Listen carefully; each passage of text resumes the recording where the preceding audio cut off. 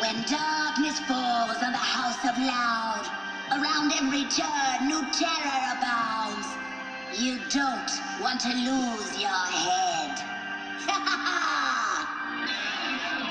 you can run, but you can't hide. You know that you taste better alive.